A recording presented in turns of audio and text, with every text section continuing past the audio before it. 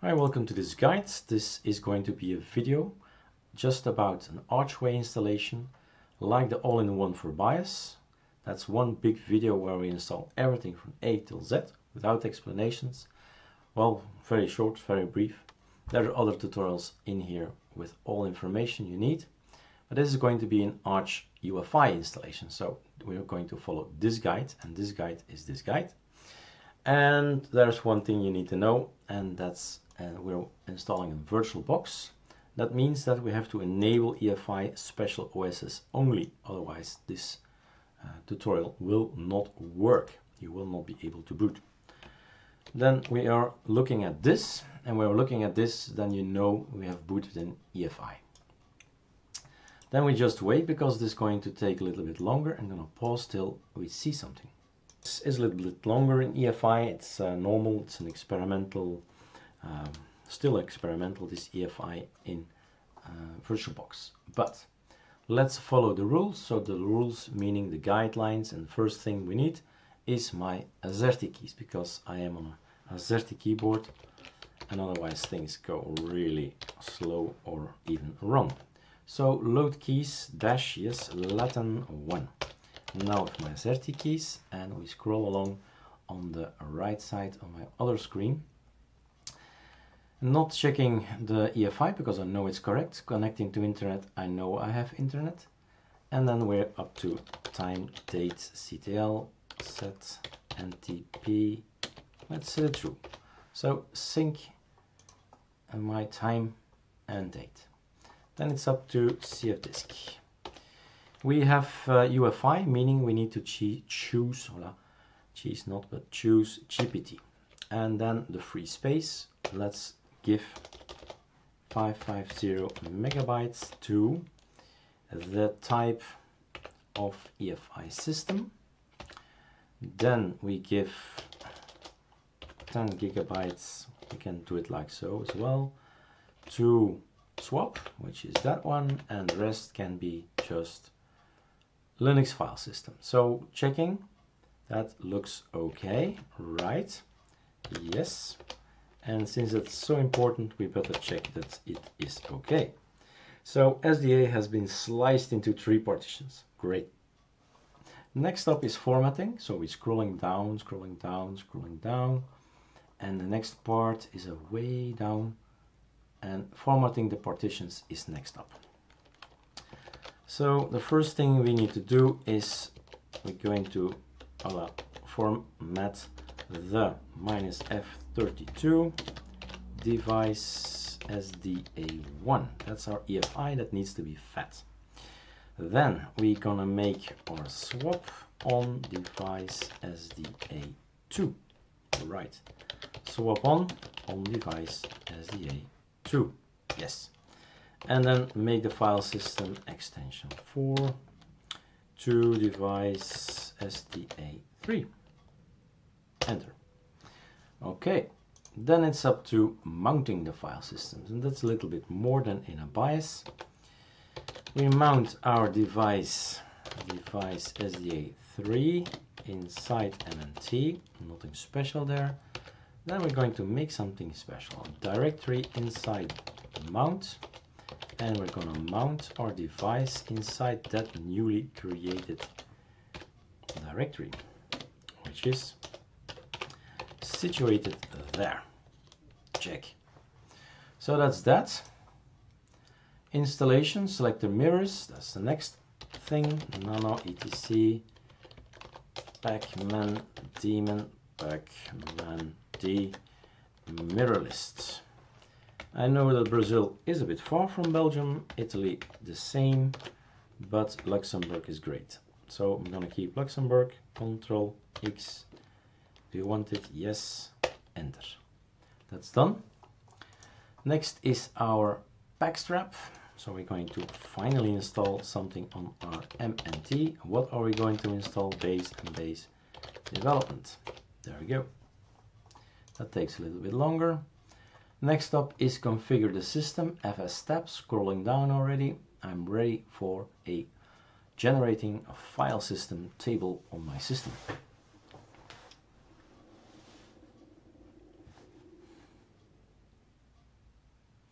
So it's important to choose from which server to download because that will tell you what speed and what speed you will download. Not the installation, that's, that's okay, but the download speed depends on the Arch server.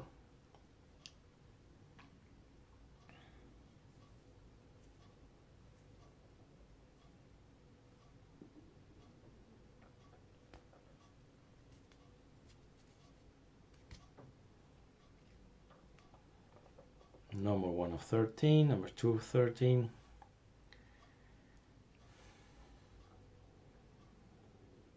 Okay, almost there, fingers are ready. Generate me a file system table and minus u and check out this folder and write whatever you find inside etc fs tab. Check. This is so important, you better check out if that's correct. That is slash boot swap. That is correct. Alright, moving along, scrolling down, chroot. Very important you read up about uh, this chroot thing. It's very powerful. You can fix your system if you are in problem with a of an unbootable hard disk or whatever problem you have. You can always chroot into your uh, system and fix things. So we want a time zone minus S and we're gonna force it to be user share zone info in Europe and Brussels. etc local time local time enter. The hardware clock is going to be set to the system clock to the hardware clock. Sys to hardware clock. Okay. That's done. Scroll scroll scroll. Locale we want to have American US so locale dot gen right. Whoops wrong. Did something wrong. Control X. Go back go back. So nano etc gen one two three four five. This is the one I want. Control X yes gone. Generate me on basis of that the locale that's generated and then we need to edit some stuff that maybe you do not need so this one you need to do but not the second one that's the key map so you need to have a language, UTF-8, and write it away inside etc locale.conf. Checking hyphens, spaces, underscores, yep. And then maybe you don't need to do this one. So key map BE Latin. Normally it's standard US inside etc vconsole.conf. Check, check, check. Mm -hmm. No typos. It's always important to check and to recheck because, well, it's quickly a mistake and then there will be consequence. Simple as that. So then we have um, to give this system here a name and we're going to put this name in etc host name. Enter. And then a longer exercise nano etc hosts. And up 127000 one. Local host. Local hosts localhosts. Whoops, not correct. Arch Linux local domain Arch Linux. And save again. Scrolling down, network configuration. You probably want to go internet, so you better install the network manager. And if you forget to activate it, you won't have internet. So you need to enable and write this correct, capital with another capital, and then you have three lines. If you see the three lines, you did it correctly. Init ramfs, no need to do that anymore. We need to set a password for the root, which is this one and that one. So that's done. Then we need to do our bootloader. And the bootloader is a bit more specific. Compared with BIOS, we need grub, right, but also EF boot manager. And let's install both. Then a somewhat longer way to install grub. We need to tell him that the target is equals x86 underscore 64 dash EFI and that the EFI directory directory is inside boot. No typos allowed, of course. So rechecking. Very important part here. And then the grub, let's make configuration for grub and we need to tell him to put that in boot grub grub.config done. Scrolling down fix for virtualbox aha we're on virtualbox so we need to do it. Otherwise you don't have to do it. But we need to do it. Efi oops. So efi we are making a directory with this command. And then we're going to copy boot efi let's see what we have we have arch and boot now and inside we have grub i'm to copy that to boot efi boot and we're to give it another name boot x boot x64 dot efi dot efi Let's recheck.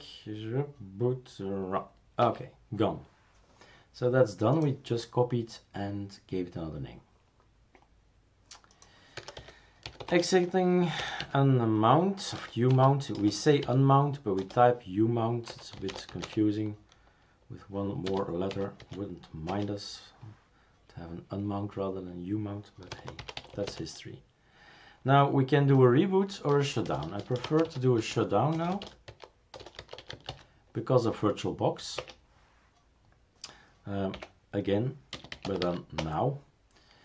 So I can get rid of my ISO. When I get rid of my ISO and I reboot, then I will see my grub. And otherwise I'll see my ISO again. Rebooting would have worked as well, but I mean, when you really shut down and you leave the ISO in, then you get it. You see the ISO. So I'm scrolling down, I'm just scrolling down, I'm now in next step. So I am in this article, sixth actual installation of Arch Linux Phase 2, and I'm following that one further along the route. Meaning, they say, why don't you add Yaourt? So that means nano etc pacman.conf and a bit later we're gonna activate multilib so while I'm going down here I'm gonna delete these two hashtags so that's done already. And then we have to scroll down because I don't know really out of heart to know it. Uh, so Linux because it's very important to type everything the way it must be. Big S big L space equals big N. So all important. Big S space equals and so on. So really pay attention on how everything is typed. And then slash dollar arch. Control X. Yes, save me this bunch. Pacman minus sy. Arch Linux is in there. Do you see the line? And I'm going to install Yaourt because that's the fun stuff is on the AUR. And then I'm gonna go back up. I'm gonna say, now we can forget about Arch Linux fr, so we don't mix repos. We don't know. We only want Yaourt. That's it. Scrolling down, multilib repository is done. Then scrolling down, bash completion. Okay, right. If you don't have bash completion, you can't press tab. And then you don't have the auto completion of your uh, well commands.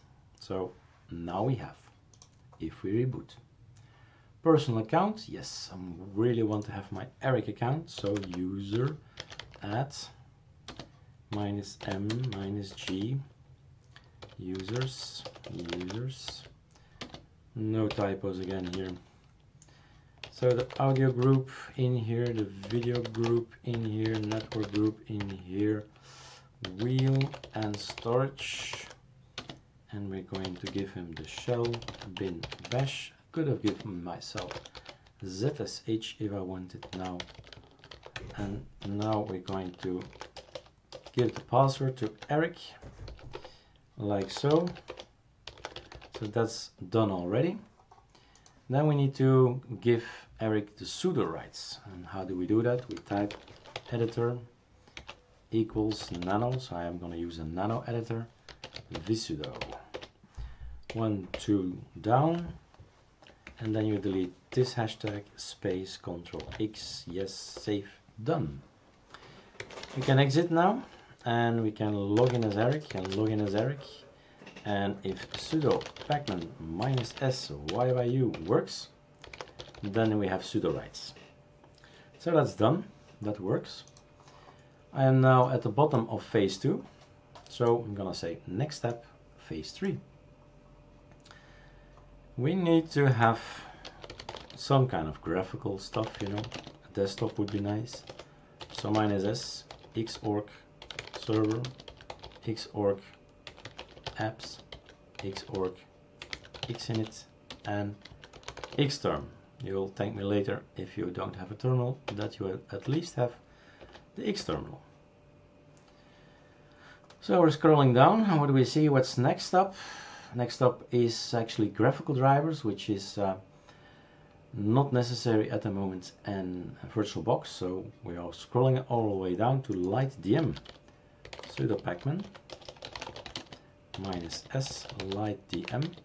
We also need lightdm GTK and why not light dm GTK greeter settings. So now we have everything we ever could have wanted concerning our display or login manager. If you forget this little line, nothing will happen and you will stay in the terminal. sudo systemctl enable lightdm dot service. You have to see this line. It must be there. Then we need to reboot, but before we do, that's uh, the next step. Before we do, we need to decide what, um, well, desktop we want. We need to install a desktop. So there are lots of things you can install. You can say Arch, Wiki, desktop maybe, I know, desktop environment, fine. A list of test all these desktop environments you can install. Budgie, Cinnamon, Deepin, Enlightenment, GNOME, GNOME Flashback, KDE, Plasma, LXDE, LXQT, Mate, Sugar, XD, and even more, even more. There are even more that we will cover in Arco Linux D that are not in here. Okay, so assuming assuming we want to install mate this time why not? Mate. So yeah let's keep a look at first here. So the mate group is going to do experience and mate extra as well. So mate and mate extra. All right so sudo pacman minus s how easy is it to install a desktop just follow the wiki say they install this thing, that thing, that thing. It's gonna cost us 852 megabytes to install a complete desktop environment.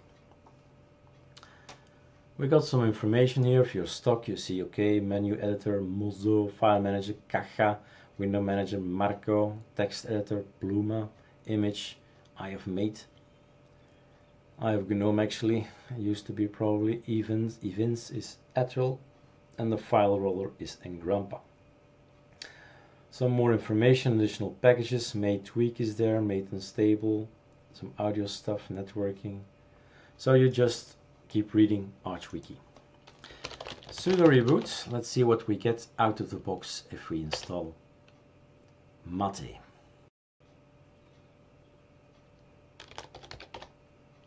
Failed to start session, let's have a look. It's not installed, um, let's see what, what went wrong.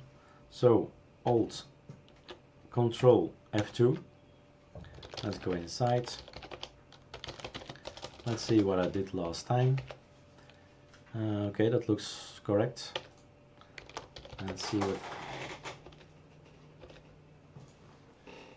Okay, we have a problem with the keys. So you do sudo pacman, which is good that it's included in this video. Arch Linux keyring, that's all you need to know and you're saved. Bye bye problems. Isn't Arch beautiful? That means that not only Arch is beautiful, but Antergos is beautiful, Manjaro is beautiful, Arch Labs is beautiful, Arco Linux is beautiful, and all Arch-based systems. They all work on the same principle, the same, uh, well, Arch system. They're configured differently, repos are different, settings are different, but it's all Arch. All right, so the reboot.